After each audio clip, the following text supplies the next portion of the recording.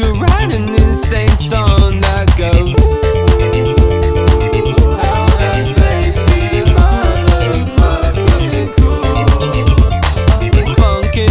Cut me a funky beat. Hear me cook this year once.